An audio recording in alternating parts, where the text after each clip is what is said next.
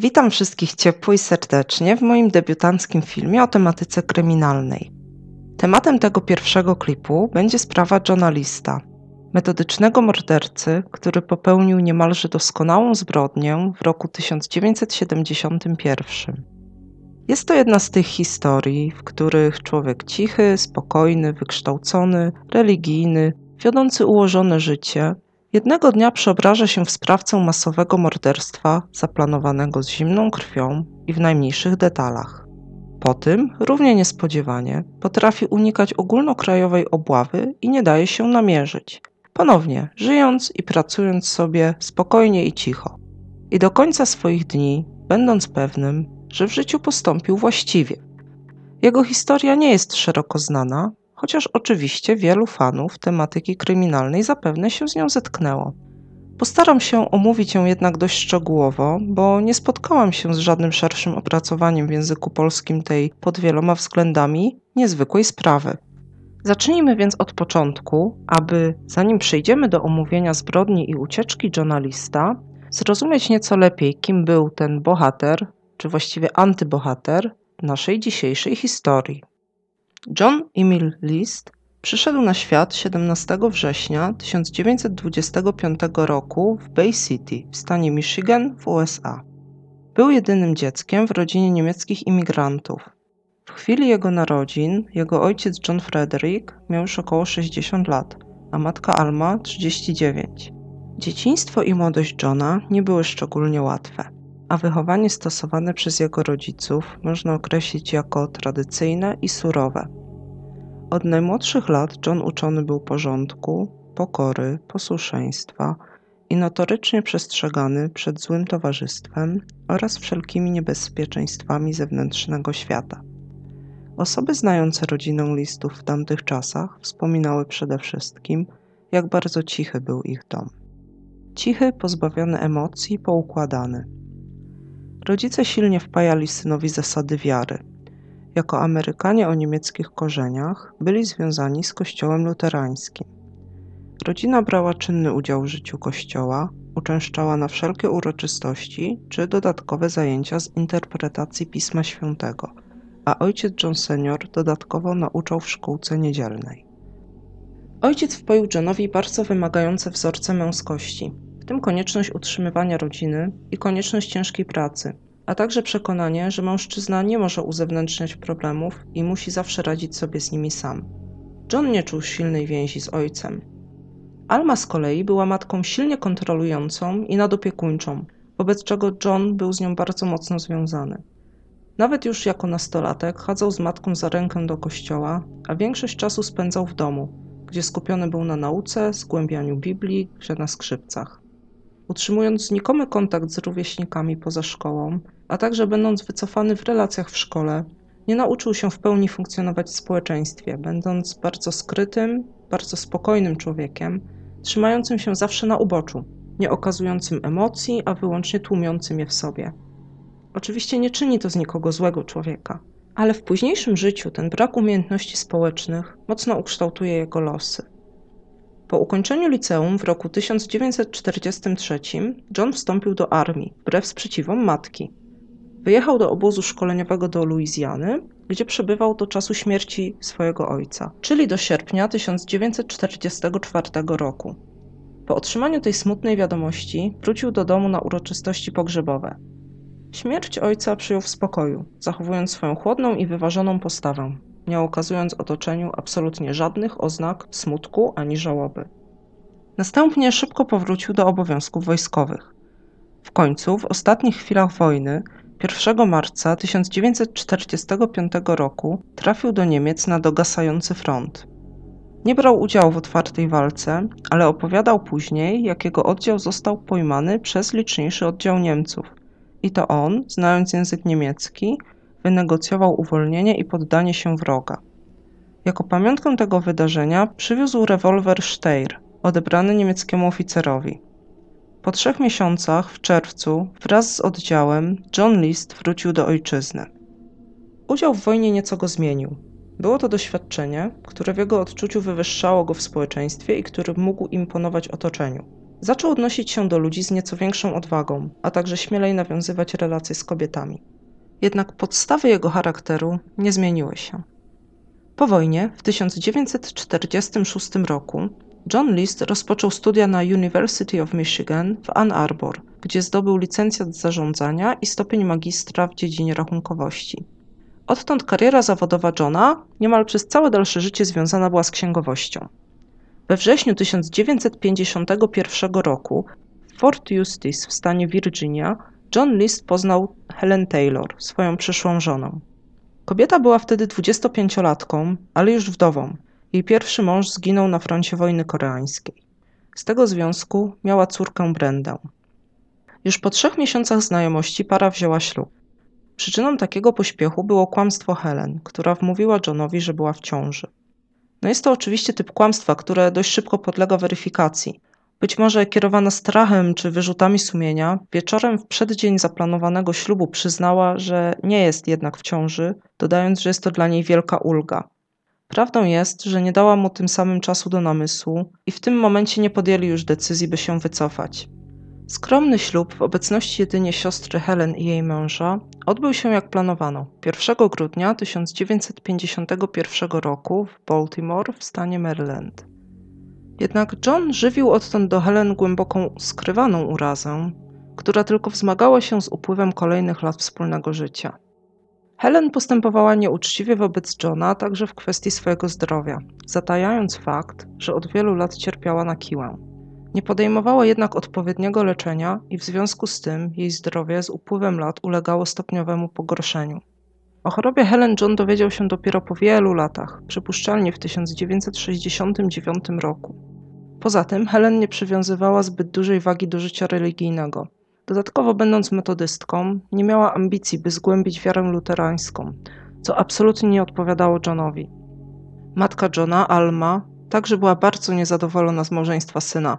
Poznała Helen dopiero po ślubie z Johnem. Jej charakter, przeszłość, podejście do religii, dziecko z poprzedniego związku wszystko powodowało, że Alma nie potrafiła zaakceptować tej kobiety jako żony jej ukochanego jedynego syna. Jednak w poczuciu obowiązku wobec sakramentu wiążącego go z Helen, John miał jeszcze wtedy nadzieję, wbrew wszystkim przeciwnościom, zbudować szczęśliwy związek. Mimo wysokich kwalifikacji zawodowych, John miał problemy z utrzymaniem jakiejkolwiek pracy na dłużej. Wygląda na to, że był to głównie wynik trudnego charakteru, braku elastyczności i umiejętności komunikacyjnych. Z tego powodu rodzina w ciągu kilku lat kilkukrotnie przeprowadzała się między bardzo odległymi stanami, podążając tam, gdzie John znajdował zatrudnienie. Z Kalifornii do Michigan, następnie do stanu Nowy Jork. W parze z niepowodzeniami na tle zawodowym szło nieudane życie rodzinne Johna. Pospieszne i wymuszone małżeństwo nie uszczęśliwiało go i zdecydowanie z Helen nie byli udaną parą. W okresie od 1955 do 1958 roku urodziło im się troje dzieci: Patricia, John Jr. i Frederick. Mimo choroby matki, wszystkie urodziły się zdrowe. Jednak z przyjściem na świat każdego z nich problemy małżeństwa listów tylko narastały. Helen nadużywała alkoholu i zaniedbywała obowiązki związane z dziećmi, głównie zrzucając je na swoją najstarszą córkę, Brendę. Do tego stopnia, że dziewczyna często opuszczała zajęcia w szkole, aby opiekować się rodzeństwem i domem. Gdy Brenda odłączyła się od rodziny, po tym jak sama wyszła za mąż i wyprowadziła się w 1960 roku, cały trud utrzymywania porządku w domu i wychowywania dzieci spadł na Johna, co przy jednoczesnej pracy zawodowej było dla niego bardzo trudnym wyzwaniem. Helen potrafiła wydzwaniać do niego do firmy z rozpaczą czy paniką w głosie i ściągała go do domu, po czym okazywało się na przykład, że jedno z dzieci wymagało wymiany pieluchy czy umycia, czego nie miała ochoty robić sama. Takie sytuacje sprawiły, że John stał się obiektem żartów i czuł się skompromitowany przed kolegami. To także miało wpływ na słabe relacje i wyniki w pracy. Z biegiem lat Helen coraz bardziej pogrążała się w alkoholizmie i depresji. Dodatkowo sięgała po leki uspokajające i mieszała je z alkoholem. Izolowała się w domu, nie interesowała się karierą Johna, czy tym bardziej życiem religijnym swoim i rodziny. Upijała się i kompromitowała męża na ewentualnych spotkaniach towarzyskich, przez co John albo całkowicie ich unikał, albo wychodził wyłącznie samotnie. Małżeństwo stawało się coraz bardziej nieznośne. W końcu wydawało się, że los uśmiechnął się do Johna. W roku 1965 zaproponowano mu intratną posadę w banku w Jersey City, gdzie przyjął obowiązki wiceprezesa i rewidenta działu finansowego. Rodzinę czekała kolejna przeprowadzka. W obliczu takiego sukcesu zawodowego męża, Helen domagała się zmiany poziomu życia i zakupu domu adekwatnego dla rodziny tak wysoko postawionego człowieka. Zaczęli więc szukać nowego domu w Jersey City. Oszczędności rodziny nie pozwalały sprostać wysokim oczekiwaniom Helen co do nieruchomości. John zwrócił się więc o pomoc do matki. Aby pozyskać fundusze na pomoc synowi, Alma sprzedała swój dom w Bay City. Z uzyskanych pieniędzy sfinansowała dla syna i jego rodziny wpłatę własną na poczet nowej posiadłości. No ale wiązało się to z tym, no, że sama miała zamieszkać razem z nimi, co na pewno nie prognozowało dobrze relacjom w rodzinie. Niemniej jednak, dzięki jej pomocy, rodzina listów wprowadziła się do pięknej, dziewiętnastopokojowej, trzypiętrowej, wiktoriańskiej rezydencji zwanej Breeze Knoll w Westfield, luksusowej dzielnicy Jersey City. Jako sąsiedzi listowie byli odcięci nieco od lokalnej społeczności i unikali życia towarzyskiego. Jeden z sąsiadów wspominał nawet, jak w pierwszych dniach od przeprowadzki listów do Westfield odwiedził ich dom celem powitania i zapoznania się. John powiedział mu wtedy wprost, że nie ma w zwyczaju bratać się z sąsiadami, no czym go delikatnie wyprosił, nie wymieniając z nim nawet zbyt wielu zdań.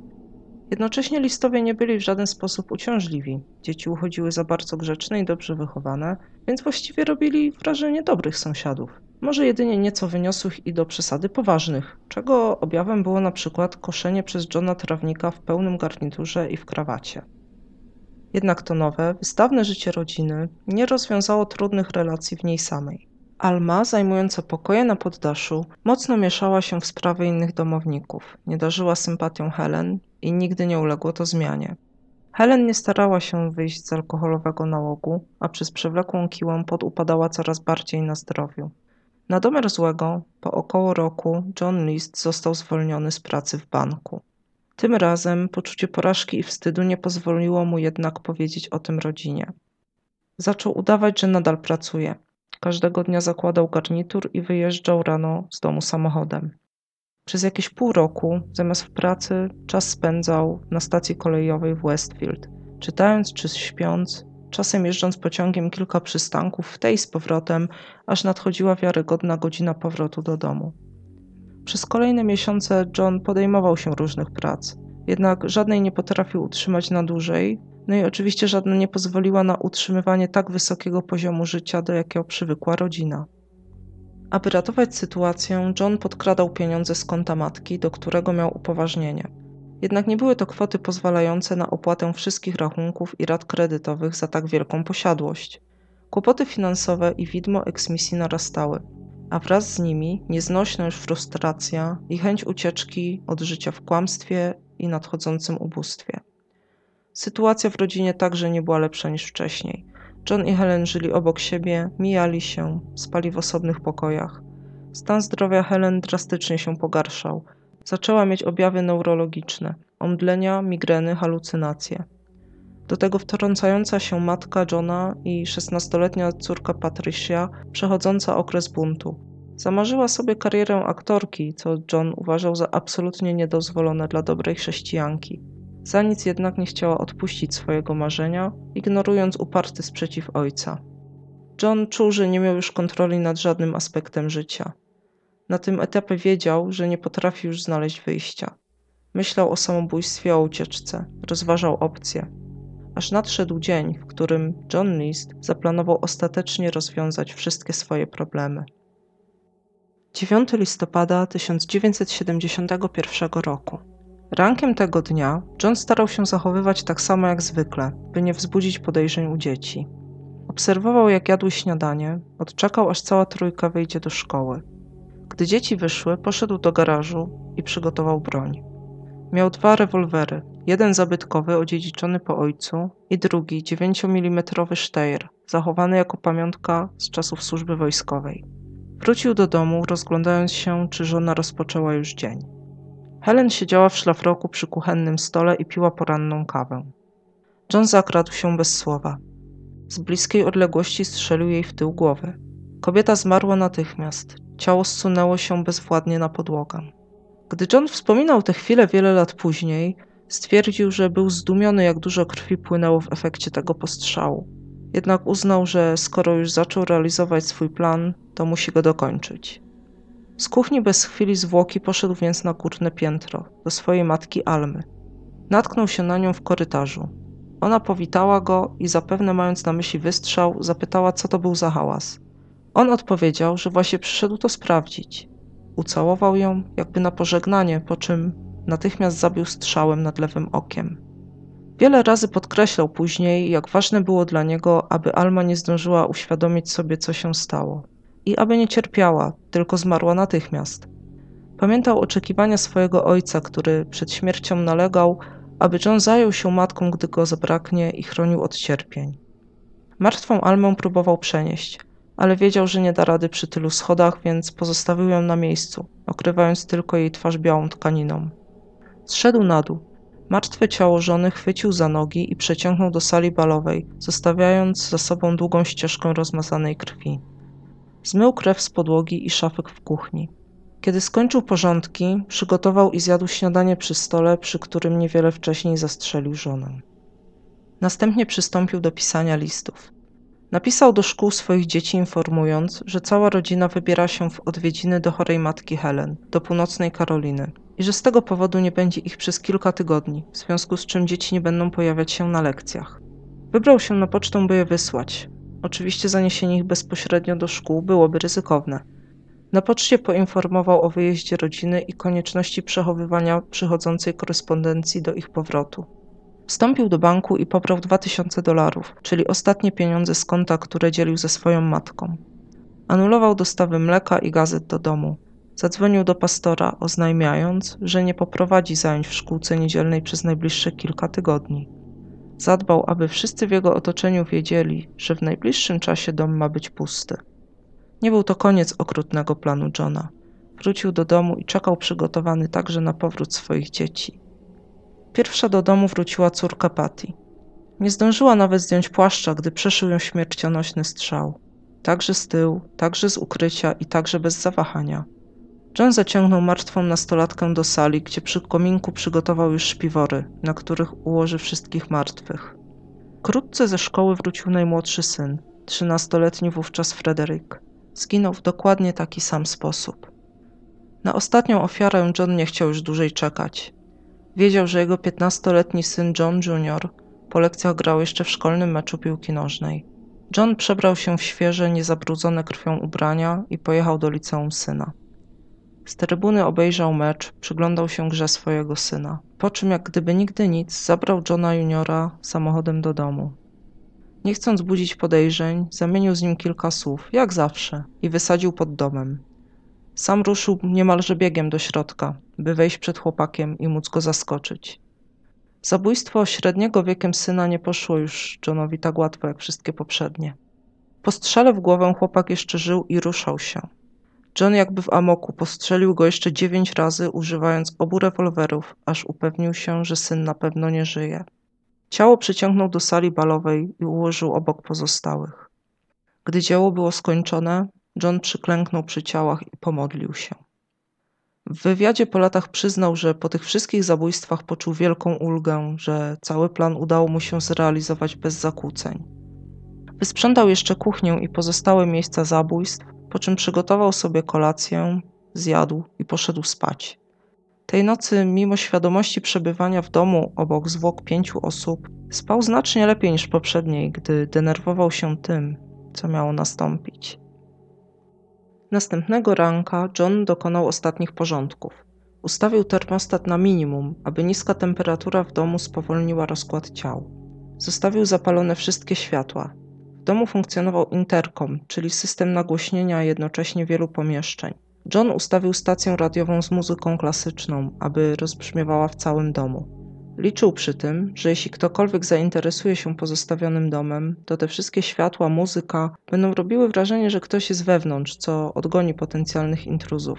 Wszystko oczywiście po to, by jak najdłużej odwlec odnalezienie miejsca zbrodni i zwłok jego bliskich.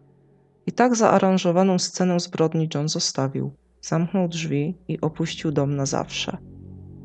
Zgodnie z zamysłem Johna, przez jakiś czas nikt nie kręcił się wokół jego posiadłości. Jednak dni mijały i z czasem domem pozostawionym w takim nietypowym stanie zainteresowali się sąsiedzi. Światła, które John zostawił zapalone, przepalały się i stopniowo gasły. Nie było widać nikogo, kto doglądałby domu. No tak, John zapowiedział wyjazd rodziny. Jednak nikt nie wiedział, czy wraz z nimi wyjechać miała matka Johna. Alma z całej rodziny była najbardziej otwarta na sąsiadów. Zdarzało jej się ich odwiedzać czy prosić o podwiezienie do miasta, a była już 85-letnią staruszką, więc sąsiedzi byli o nią nieco zaniepokojeni. Tutaj źródła nieco różnią się co do informacji, kto ostatecznie powiadomił policję o potrzebie sprawdzenia domu. Według części był to ktoś z sąsiadów, a inne artykuły podają, że był to Ed Iliano, nauczyciel z kółka teatralnego, do którego uczęszczała córka Johna. Patty miała brać udział w nadchodzącym przedstawieniu, a Ed chciał wiedzieć, czy będzie pojawiała się na próbach. Nie miał jednak żadnej informacji, kiedy rodzina wróci, i w związku z tym co jakiś czas zaglądał do posiadłości i dzwonił do drzwi. Wydaje się prawdopodobne, że to jego zgłoszenie ostatecznie zmobilizowało policję do sprawdzenia domu. Tak czy inaczej, 7 grudnia dwóch funkcjonariuszy zostało wysłanych do domu listów. Nie mogli spodziewać się, co tam zastaną. Właściwie szli tylko sprawdzić, czy starsza pani radzi sobie dobrze pozostawiona sama w wielkim domu. Nikt nie otwierał, więc policjanci weszli przez niezablokowane okno. W środku powitała ich ciemność na parterze, łamana nieco przez światło dochodzące z wyższych pięter. Było zimno, przejmująco, jak na zewnątrz. Jako tło dla tej mrocznej już scenerii, nadal w całym domu rozbrzmiewała muzyka klasyczna. Policjanci poruszali się po domu, zauważając niedoczyszczone plamy krwi na podłogach i meblach. Im dalej w głąb domu szli, tym mocniej uderzał ich odór niszczących ciał. Wiedzieli już, że w domu stało się coś strasznego. Widoczne jeszcze ślady krwi doprowadziły ich do sali balowej. Odkryli kotary osłaniające wejście. Tam, przy kominku, z ciemności wyłaniał się widok przypominający stos ubrań czy koców. Jednak gdy podeszli bliżej, ujrzeli martwe ciała żony i dzieci Johna, ułożone obok siebie na rozłożonych śpiworach. Trójka dzieci leżała obok siebie, wszyscy w płaszczach i rękawiczkach. Patricia złożona została na boku, z podgiętymi kolanami, zwrócona twarzą w kierunku martwego brata. Obok niej leżał Frederick, ułożony głową w dół, i dalej ostatni, John Jr., ułożony na plecach, częściowo przykryty brzegiem śpiwora. Prostopadle do dzieci spoczywały zwłoki Helen List, w szlafroku podciągniętym do góry w efekcie wleczenia ciała po podłodze. Oficerowie po dokonaniu makabrycznego odkrycia natychmiast wezwali wsparcie. W oczekiwaniu na przyjazd kolejnych jednostek dalej badali dom. Wiedzieli, że dwóch osób z rodziny brakuje i spodziewali się odnaleźć także ich ciała. Nie mogli też wykluczyć, że sprawca nadal ukrywał się w domu. Na trzecim piętrze policjanci odnaleźli zwłoki Almy. Odsłonili jej twarz, która zastygła z wyrazem przerażenia. Ciało leżało w wygiętej pozycji. Kobieta osunęła się na kolana, po czym padła martwa na plecy. Po dokładnym przeszukaniu domu stało się jasne, że z całej rodziny brakowało w nim jedynie Johna Lista. Jego nieobecność nie musiałaby automatycznie z całą pewnością oznaczać, że był sprawcą masakry. Teoretycznie to on mógł wyjechać, a w tym czasie ktoś inny napaść i zamordować mieszkańców domu. Choć taki scenariusz byłby oczywiście mało prawdopodobny. Jednak o ile z początku mogły istnieć jakiekolwiek wątpliwości co do winy journalista, zostały bardzo szybko rozwiane. W gabinecie Johna policjanci znaleźli rewolwery oraz kilka pozostawionych przez niego pism. Wśród nich był list datowany na 9 listopada, który John zaadresował do swojego pastora, owym liście wyjaśniał motywy, jakie nim kierowały, a także podawał wskazówki organizacyjne co do pochówku ciał i kontaktu z odpowiednimi osobami z rodziny. List ten warto omówić chwilę dłużej. Jego skan jest dostępny w całości w internecie, więc pozwolę sobie przytoczyć fragmenty. Wersja polska tego listu, którą odczytam, jest przetłumaczona w moim zakresie. Nie udało mi się ustalić, żeby funkcjonowało jakieś oficjalne tłumaczenie w polskojęzycznych źródłach. Zatem oto co wyznał John List. Drogi pastorze Raywinkle, przykro mi, że dodałem to dodatkowe obciążenie do Twojej pracy. Wiem, że to, co zostało zrobione, jest złe według wszystkiego, czego mnie nauczono i że wszelkie powody, które mógłbym podać, tego nie naprawią. Ale jesteś jedyną osobą, o której wiem, że chociaż nie będzie tego akceptować, przynajmniej zrozumie, dlaczego czułem, że muszę to zrobić. Nie zarabiałem nawet blisko tego, co było potrzebne, aby nas utrzymać. Wszystko, czego się podejmowałem, rozpadało się na kawałki. To prawda, że moglibyśmy ogłosić bankructwo i może żyć z pomocy społecznej. Ale to prowadzi mnie do następnego punktu. Wiedząc, w jakim rodzaju miejsca musielibyśmy wtedy mieszkać, plus jakie byłoby to środowisko dla dzieci, plus to, że wiedzieliby, że są w opiece społecznej, były czymś więcej niż myślałem, że mogą i powinny wytrzymać. Wiem, że mogli trochę ograniczyć poziom życia, ale nie aż tak. Pat była tak zdeterminowana, by zostać aktorką, że obawiałem się, jak może to wpłynąć na jej życie jako chrześcijanki. Jestem pewien, że to by nie pomogło. Poza tym Helen nie chodziła do kościoła. Wiedziałem, że w końcu zaszkodzi to dzieciom w ich religijności. To jest suma tego wszystkiego. Gdyby którykolwiek punkt mógł się zmienić, moglibyśmy jakoś dać radę, ale to było po prostu za dużo. Przynajmniej jestem pewien, że wszyscy poszli teraz do nieba. Gdyby sprawy toczyły się dalej, kto wie, czy tak by było. Oczywiście matkę w to także zaangażowałem, ponieważ to, co zrobiłem mojej rodzinie, byłoby dla niej ogromnym szokiem w tym wieku. Dlatego wiedząc, że ona jest także chrześcijanką, czułem, że najlepiej uwolnić ją od problemów tego świata, które by ją dotknęły. Po wszystkim odmówiłem modlitwę za nich wszystkich z księgi hymnów. To przynajmniej mogłem zrobić. Teraz ostatnie ustalenia. Helen i dzieci zgodziły się, że wolą zostać poddane kremacji. Dopilnuj, aby koszty były niskie. Matka ma miejsce na cmentarzu kościoła Frankenmuth. Następnie list podaje namiary do przyjaciela matki, który ma pokierować organizacją pochówku i wskazuje, którego księdza matka by preferowała do prowadzenia jej ceremonii pogrzebowej. Dalej John prosi, aby pastor wysłał pozostałe listy, które zostawił w biurku. Tłumaczy też, kim są osoby, do których je zaadresował: siostra matki, matka Helen, siostra Helen.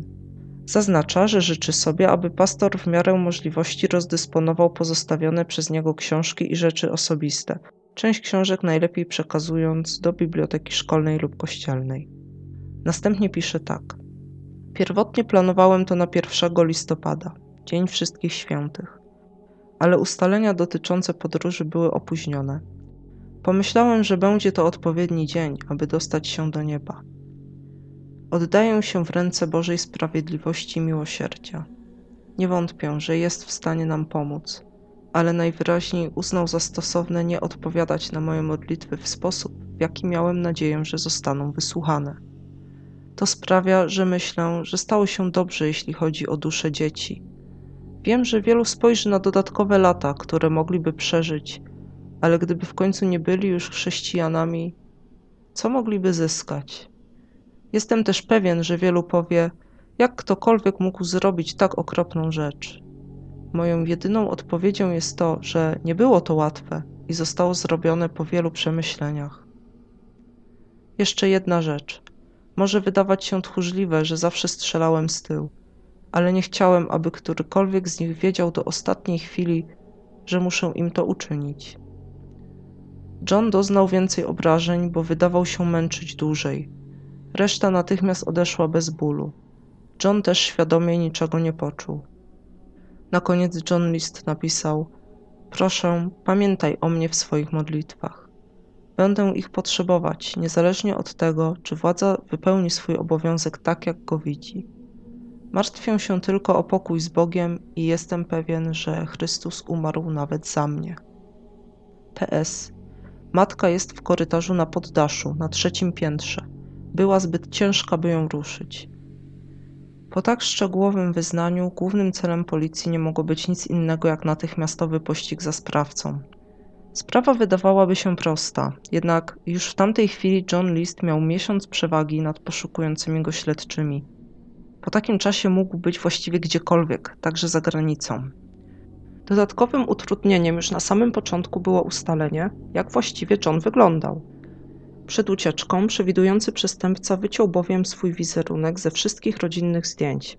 Policja musiała poświęcić więc trochę czasu, by w ogóle pozyskać zdjęcie zbiega, które można by rozesłać innym jednostkom. Szybko został znaleziony należący do Johna Lista Chevrolet Impala, porzucony na parkingu na lotnisku Kennedy'ego w Nowym Jorku. Nie udało się jednak ustalić, aby John faktycznie podróżował samolotem. W rzeczywistości auto również zostało podrzucone w tym miejscu dla zmylenia tropów, a John pojechał autobusem do centrum, skąd wyruszył pociągiem 2000 mil na zachód. Po trudnym czasie w życiu potrzebował odpoczynku i miał ochotę zobaczyć góry. Osiedlił się w Denver. Tam zamieszkał w motelu i na początek podjął pracę w restauracji na przedmieściach. Oczywiście zaczął posługiwać się zmienioną tożsamością. Funkcjonował jako Robert Peter Clark, krótko Bob. Było to imię i nazwisko kolegi Johna z czasów studenckich. Nie ma informacji, dlaczego zdecydował się właśnie na taki alias, a sam prawdziwy Robert Clark ponoć nawet nie pamiętał Johna z tamtych czasów. Używając nowego numeru ubezpieczeniowego, John jako Bob mógł także bez przeszkód podejmować legalną pracę. Wkrótce porzucił tymczasowe zajęcia w gastronomii i wrócił do swojej specjalizacji, znowu pracując jako księgowy. Nie umiem określić, jak funkcjonując z fałszywą tożsamością mógł wykazać doświadczenie zawodowe czy wykształcenie w tym kierunku. No jednak jakoś udało mu się z powodzeniem znaleźć zatrudnienie. Czy John był tak wyjątkowo sprytny, czy zdobycie fałszywych dokumentów było w tych czasach tak łatwe, również nie umiem ocenić. Tymczasem była posiadłość listów, Breeze przez kilka miesięcy stała opuszczona. Była przez chwilę nawet taką makabryczną atrakcją turystyczną, gdzie lokalne dzieciaki szły, aby udowodnić swoją odwagę. Szczytem tej odwagi było oczywiście spędzenie nocy w sali balowej. Pojawiały się legendy, że John List nigdy nie opuścił domu, tylko nadal ukrywał się w nim w tajnej komnacie czy w nieznanej piwnicy. Jednak już dziewięć miesięcy po morderstwach, w sierpniu 1972 roku, posiadłość strawił pożar. Ustalono, że został wywołany przez podpalenie, jednak winnego nigdy nie wskazano. Posiadłość wymagała całkowitej odbudowy i w takim stanie została wystawiona na sprzedaż. I w tym miejscu nastąpi anegdota. Konfrontując źródła, nie udało mi się ustalić, czy to fakt, czy raczej taka legenda dodająca ironii całej historii. Ponoć gdzieś w trakcie czynności związanych z szacowaniem zniszczeń czy wyceny tego zrujnowanego budynku, odkryto, że na dachu sali balowej, czyli tuż nad miejscem, gdzie John złożył zwłoki swoich ofiar, znajdował się szklany sufit, który zaprojektował i firmował swoim nazwiskiem legendarny w tej dziedzinie projektant Louis Comfort Tiffany.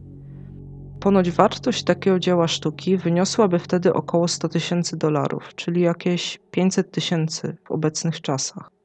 Więc jego sprzedaż z powodzeniem mogłaby rozwiązać problemy finansowe rodziny, które były motywem zbrodni.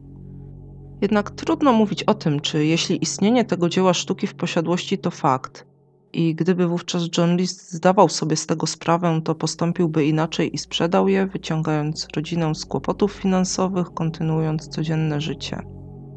Wydaje się, co jest moją opinią, a nie faktem, że aspekt finansowy mógł być takim bardziej pretekstem niż prawdziwym motywem zbrodni Lista, który tak naprawdę chciał uwolnić się od rodziny, nie chciał już dźwigać tego ciężaru odpowiedzialności za nich wszystkich.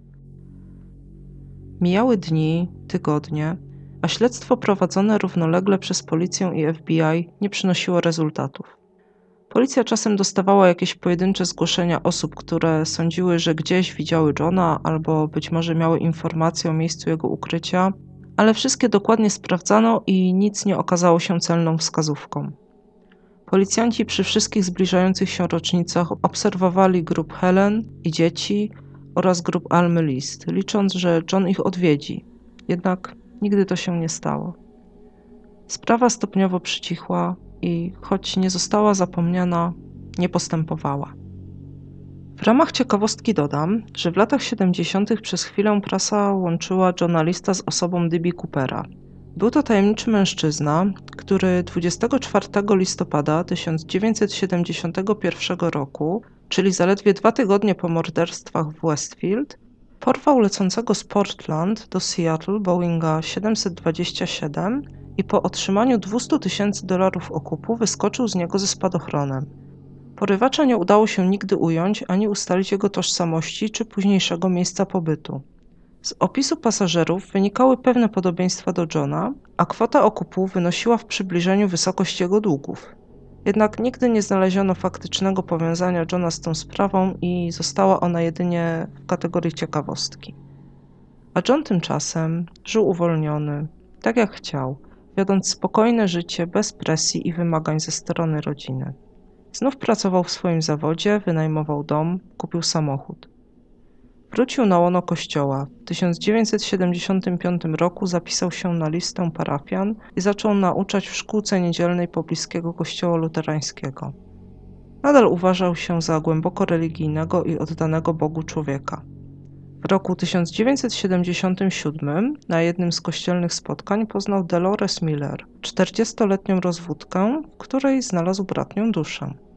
Sam przedstawiał siebie jako wdowca, trzymając się wersji, że jego żona zmarła na raka i że nigdy nie mieli dzieci.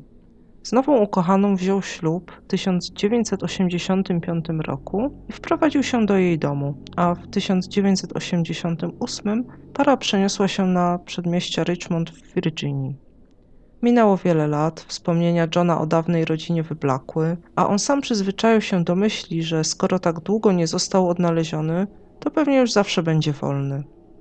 I faktycznie, wydawało się, że była to zbrodnia doskonała.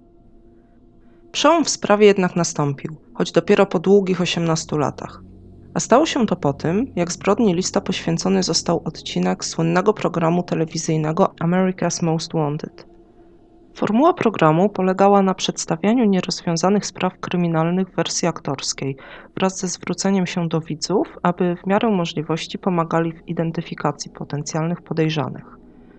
Odpowiedzialni za sprawę lista funkcjonariusze zgłosili propozycję pokazania zbrodni i ucieczki Johna w programie. Z początku twórcy programu nie byli jednak zainteresowani przedstawieniem sprawy Johna. Oczywiście sprawa tak stara miała nikłe szanse na rozwiązanie – Wydawało się, że po blisko 20 latach sprawca albo na dobre zaszył się gdzieś za granicą, albo potencjalnie sam już nie żył. Jednak nad poszukiwaniami Johna od niedawna czuwał nowy, ambitny kapitan, który nie dawał za wygraną nawet w tak, wydawałoby się, beznadziejnej sprawie. Po osobistym spotkaniu przekonał producenta programu, żeby sprawa Johna została jednak przedstawiona na antenie. Głównym problemem przy tak starej sprawie była oczywiście kwestia obecnego wyglądu poszukiwanego mordercy, który można było pokazać jedynie w formie symulacji. W tym celu do pomocy zaangażowany został Frank Bender, rzeźbiarz i fotograf z Filadelfii. Specjalizował się on w wykonywaniu glinianych rekonstrukcji twarzy i rozłożonych ciał. W programie zaprezentowana została przygotowana przez niego rzeźba, która przedstawiała symulację wyglądu Johna po upływie około 20 lat. Wykonał ją na podstawie zdjęcia z 1970 roku. Wziął jednak pod uwagę także zdjęcia rodziców Johna, przewidując, że w przypadku syna powtórzą się genetyczne wzorce starzenia się, np. sposób łysienia ojca powtórzy się także u syna. Uwzględnił nietypową bliznę za uchem, jaką John miał po dawnej operacji. I trzeba przyznać, że wykonana przez niego rzeźba nosiła wybitne podobieństwo do prawdziwego Johna Lista. Dosłownie jakby artysta przygotowywał ją patrząc na poszukiwanego. Pasował nawet niemal idealnie model noszonych przez niego okularów. Specjaliści pracujący nad profilem psychologicznym Johna uznali, że wybrałby on grube plastikowe oprawy, niejako chowając się za nimi, dodając sobie tym pewności siebie i bardziej inteligentnego wyglądu. John był wielbicielem programu America's Most Wanted i namawiał znajomych, by także go oglądali. Po cichu zastanawiał się, czy kiedyś pokażą materiał o nim i faktycznie doczekał się. 21 maja 1989 roku odcinek omawiający zbrodnię lista został wyemitowany. Można sobie tylko wyobrazić scenę, jak John z żoną oglądał odcinek poświęcony własnej zbrodni, gdzie dodatkowo zaprezentowano jego doskonale oddany wizerunek. Czy przeszło jej jednak przez myśli, jak bardzo podobny człowiek siedział właśnie obok niej? Po emisji programu wpłynęło ponad 200 zgłoszeń osób, które uważały, że mogą mieć jakieś informacje na temat poszukiwanego journalista. Jedno z nich okazało się trafione. Johna rozpoznała sąsiadka z Denver i dobra przyjaciółka Dolores, Wanda Flannery. Całkowicie zgodny wygląd, opis charakteru, wyznanie luterańskie, blizna za uchem, zawsze noszona koszula i krawat. Wszystko pasowało idealnie do jej byłego sąsiada, Boba Clarka. 11 dni po emisji odcinka, 1 czerwca 1989 roku, w domu Johna Lista, wel Boba Clarka w Richmond, pojawili się funkcjonariusze FBI. Tam powitała ich Dolores Clark. Była zdumiona ich wizytą i pewna, że było to wyłącznie nieporozumienie. Agenci pokazali jej zdjęcia Johna sprzed lat. Przyznała, że widzi podobieństwo, ale nie mogła uwierzyć, że jej mąż mógłby być zbrodniarzem. Odpowiedziała na kilka pytań o wygląd, zawód, cechy jej męża, pokazała zdjęcia z ich ślubu sprzed czterech lat. Wszystko pasowało i agenci nabierali pewności, że nareszcie namierzyli poszukiwanego. Przerażona Dolores skierowała ich do biura, gdzie pracował jej mąż. I tam John List został wreszcie zatrzymany. John wypierał się swojej prawdziwej tożsamości. W biurze, gdy podeszli do niego agenci FBI, utrzymywał, że nazywa się Bob Clark i trzymał się kurczowo tej tożsamości, odpowiadając na wszystkie pytania. Ale zapytany wprost, czy jest Johnem Listem, natychmiast zaprzeczył, jakby szykował się na to pytanie od dawna. Nie było widać po nim zdziwienia, ciekawości, nie pytał o co chodzi, czy jakie zarzuty mu są stawiane. To wszystko tak naprawdę jeszcze bardziej dowodziło winy. Nawet kiedy śledczy zatrzymali go i dopasowali jego odciski palców do tych z miejsca zbrodni i tych z kartotek wojskowych Johna, ten nadal nie przyznawał się do swojej prawdziwej tożsamości.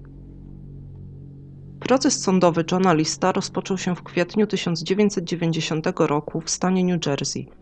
Był bacznie śledzony przez media. W jego trakcie John skorzystał z prawa do niezeznawania osobiście. Jego wina była oczywista, ale wyznaczony z urzędu obrońca Elijah Miller Zgodnie ze swoją funkcją robił co mógł, by uzyskać złagodzenie kary i kwalifikację morderstw jako drugiego, a nie pierwszego stopnia. Strategią obrony było wskazywanie, że John działał w stanie ograniczonej poczytalności. Obrońca powoływał się na zaburzenia osobowości i rzekomy zespół stresu pourazowego spowodowany doświadczeniami wojennymi. Przyczyło temu zeznanie biegłego psychiatry Stevena Simringa, Ocenił on, że John działał w pełnej świadomości swoich czynów, a także nie wykazywał prawdziwego żalu. Dokonując ewaluacji oskarżonego, stwierdził obsesyjno-kompulsywne zaburzenia osobowości. Nawracające myśli, obsesje wywołujące niepokój, no bardzo utrudniały Johnowi funkcjonowanie w sytuacjach, gdy piętrzyły się problemy, a tych w życiu Johna pojawiło się wiele – no jednak zaburzenie to nie powodowało niepoczytalności i zdaniem biegłego psychiatry John planując i dokonując zbrodni postępował przy pełnej możliwości dokonywania świadomego wyboru. Obrońca journalista wskazywał także, że przeszukanie domu, w którym odnaleziono zwłoki rodziny, było nieprawne i przeprowadzone bez nakazu sądowego, czym złamano konstytucyjne prawa oskarżonego. Wobec tego dowody odnalezione w ramach tego przeszukania tym pozostawiona korespondencja, nie mogły stanowić dowodów w sprawie, gdyż zostały pozyskane w sposób wadliwy. Oczywiście chodziło tu przede wszystkim o list, który John pozostawił dla swojego pastora. Jak już wcześniej omówiliśmy, znajdowało się w nim bezpośrednie przyznanie do winy, wskazywał na przemyślenie przez lista sytuacji, zaplanowanie czynu, a nawet jego konsekwencji – Obrona starała się wskazywać także, że korespondencja tego typu ma poufny charakter osobistej spowiedzi i stanowi tajemnicę pomiędzy wiernym a jego duchownym, i również z tego tytułu nie może stanowić dowodu w postępowaniu sądowym. Jednak sędzia postanowił inaczej i listy pozostawione w domu przez Johna dopuszczone zostały jako pełnoprawne dowody przedstawione ławie przysięgłych. Jedyne, co John powiedział od siebie w trakcie procesu, to ogólnikowa deklaracja, że jest mu przykro z powodu tragedii, która wydarzyła się w 1971. Nie wspominał bezpośrednio o swojej żonie, matce ani dzieciach. Wobec oczywistej winy 12 kwietnia 1990 roku John List usłyszał wyrok pięciokrotnego dożywocia za pięć morderstw pierwszego stopnia. Trafił do więzienia, gdzie spędzić miał resztę życia. Był to maksymalny możliwy wyrok, gdyż morderstwa Lista miały miejsce zanim stan New Jersey przywrócił wykonywanie kary śmierci. Pod koniec życia o swoich czynach John List opowiadał chłodno, niemal technicznie, z cynizmem. Udzielił kilku wywiadów, jednak nie udało mi się odnaleźć żadnego w całości. W opisie filmu znajdziecie link do odcinka serialu dokumentalnego American Justice, w którym zobaczyć można Johna Lista we własnej osobie, opowiadającego o swoim życiu i zbrodni. Nonszalancki i pozbawiony emocji sposób mówienia, ale także to, co mówi, są faktycznie dość szokujące. Nadal odwołuje się do motywacji religijnych. Dowiadujemy się od niego, że w tym najgorszym momencie w życiu, w 71 roku, rozważał samobójstwo, ale uważa, że samobójcy automatycznie trafiają do piekła. Dlatego wybrał inne wyjście, żeby nie odbierać sobie szansy na zbawienie. Dlaczego w takim razie po prostu nie uciekł od rodziny? To nadal lepsze rozwiązanie niż ich zabić, a skoro tak dobrze chował się przed śledczymi, to i przed rodziną pewnie by się dobrze schował. Na to jednak nie znalazłam odpowiedzi w wywiadach. John mówił też, że życie w więzieniu jest dla niego spokojniejsze niż na wolności i że ma tam pracę, którą lubi, oraz że czuje się tam bezpiecznie. John List zmarł w 2008 roku w centrum medycznym w Trenton, gdzie został przewieziony z więzienia. Dożył wieku 82 lat. Przyczyną śmierci były komplikacje po zapaleniu płuc. Spędził więc w więzieniu 17 lat i pół roku, czyli mniej więcej tyle samo, ile na wolności po swojej ucieczce. Nikt nie zgłosił się w celu odbioru zwłok i organizacji pochówku. Co nie dziwi, skoro oczywiście całą swoją najbliższą rodzinę John zabił, a pozostała rodzina mogła mieć o to uzasadnione pretensje. Druga żona, Dolores, także nie odpowiadała na próby kontaktu ze strony służb więziennych. Ostatecznie John został pochowany obok matki na cmentarzu luterańskim w Frankenmuth. I tak skończyła się historia Johna Lista. Można przypuszczać, że do końca życia trwał w przeświadczeniu, że zbrodnia, której się dopuścił, była koniecznością podyktowaną przez Boga i przyniosła zbawienie duszom jego rodziny. Sam spodziewał się spotkać swoją rodzinę w niebie. W jednym z wywiadów powiedział tak: Czuję, że jeśli spotkamy się w niebie, to albo okaże się, że oni już mi przebaczyli, albo nie będą sobie w ogóle zdawać sprawy, co się stało. Czy się tam rzeczywiście z nimi spotkał? Dziękuję wszystkim, którzy wysłuchali mnie do końca. Mam nadzieję, że historia wydała się Wam ciekawa. Może przyznacie, że brzmi bardziej jak fabuła książki czy filmu niż historia z życia wzięta. Na jej podstawie faktycznie powstał film zatytułowany Judgment Day The John List Story z 1993 roku. Link na wszelki wypadek również podrzucam w opisie, jednak film jest w wersji oryginalnej i uczciwie mówiąc, nie jest to też jakiś wybitny film, na postaci lista luźno oparty jest też bohater filmu Podejrzani, czyli The Usual Suspects z roku 1995, Kaiser Suze, którego zagrał Kevin Spacey. Na dzisiaj to wszystko. Za każde ewentualne miłe słowo w komentarzach, ale też za wszelkie wskazówki czy konstruktywną krytykę z góry wielkie dzięki. Na pewno pomogą zdecydować, czy warto próbować dalej i zabierać się za kolejne tematy. Dzięki wielkie i trzymajcie się.